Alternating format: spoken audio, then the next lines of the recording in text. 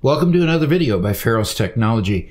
Today we want to talk about VBA variables and how to use them. So let's go ahead and get started.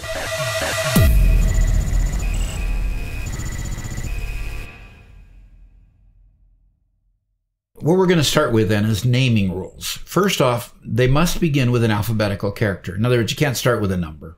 Okay. Can't start with a special character of any sort.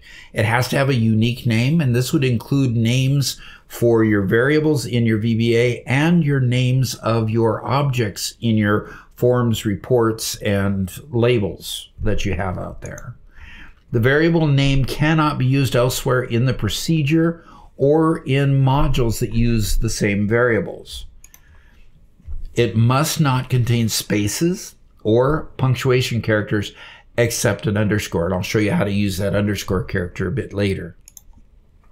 It must not be a reserved word such as sub or module or form. Now, VBA will tell you if it's a reserved word and it'll give you a warning so that you can change it slightly so that it's not exactly a, a reserved word. Okay. And it can't be any longer than 255 characters. And I hope none of you actually try. You need to be descriptive. Being descriptive helps you understand it more later when you have to reread your code. But being as long as 255 characters can get to be a bit obnoxious.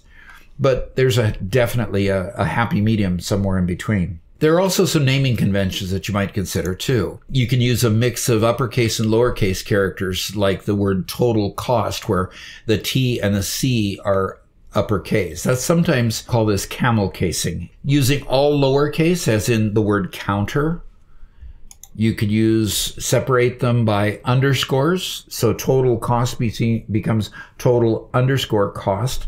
That way you can separate the words, make it look a little bit more like English, but you can't use a space. So the underscore becomes a good alternative.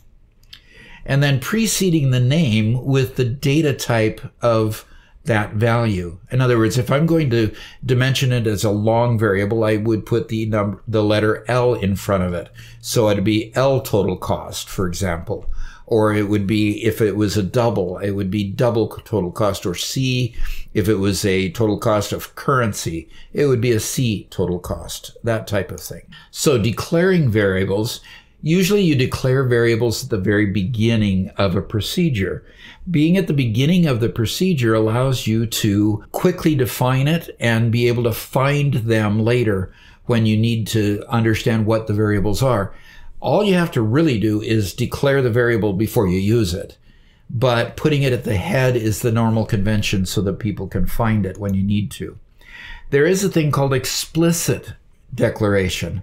So if you have option explicit at the top, it requires you then to declare variables before you use them. That is always a good practice because you can dimension them afterwards. You, in other words, you could dimension it and not tell what type of variable it is.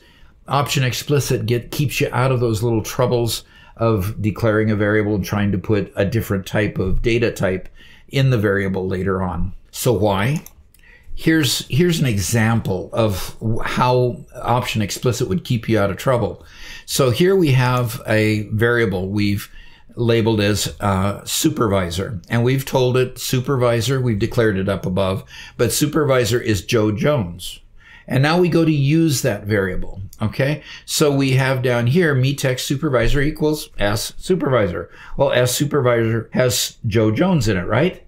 Well, that version of supervisor doesn't because it has an ER instead of an OR. So you would be perplexed as to why your text box called text supervisor didn't have a value in it.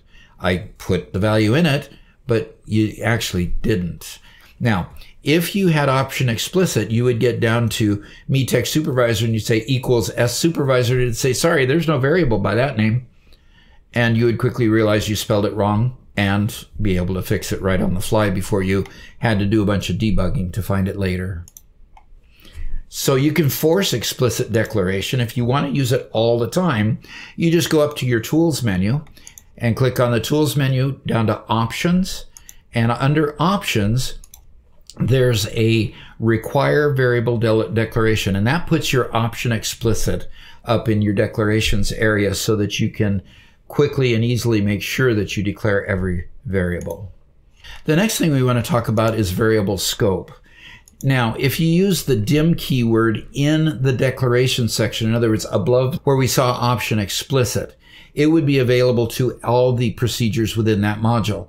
If you declare it within a module, in other words, within a subroutine or a function, it's available only to that procedure. The next level is to make it public. If you declared a public variable, it's available to all modules within the application.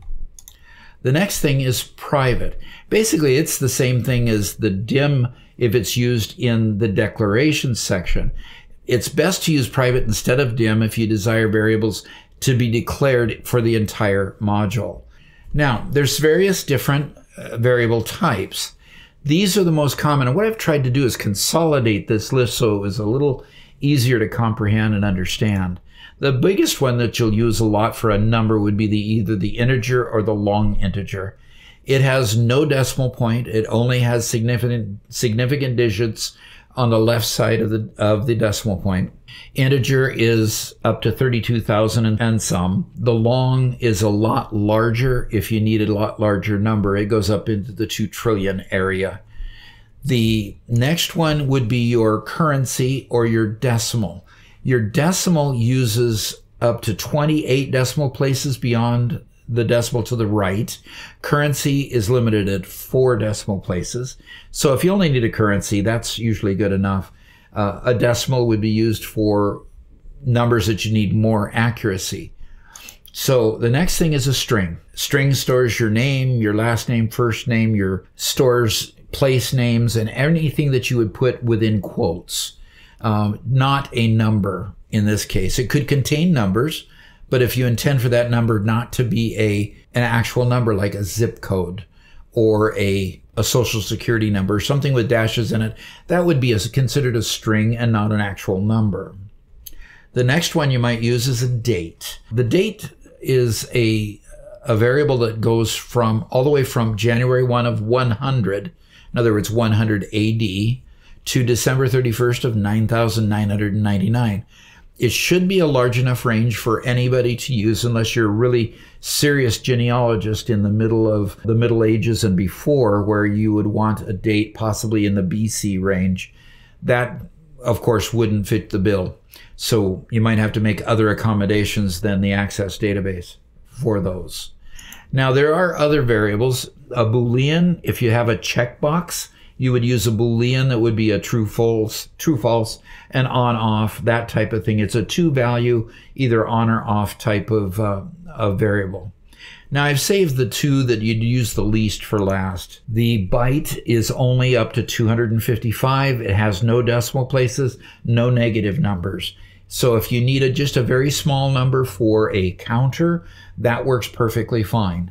If you need a very, very large number, your single and double uh, are much, much larger than the decimal uh, variable type, but it's a float. It will do its best to estimate within about 28 to 50 decimal places to the right. It extends as much as 340 decimal places to the right of the decimal and to the left of the decimal. So they are doubles are very, very large numbers. You'd use those in astronom- astronomical type of, of figures. Okay. So I hope you've gained a good bit from this video and I hope that you uh, will hit the like button if you do and send it out to other people. Uh, the channel is growing and we're getting to the point of being able to to really uh, do the things that we want to do with the channel. So if you can consider subscribing, that would be very much appreciated. And we hope to see you again sometime. Thanks.